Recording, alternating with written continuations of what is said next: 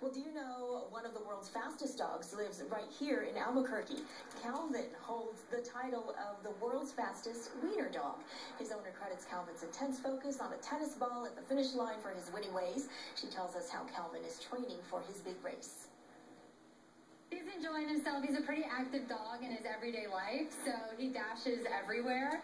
Um, and so we just try to keep him active, and we go on hikes pretty much every morning down by the river, keeping up with that, and that's how we're getting ready.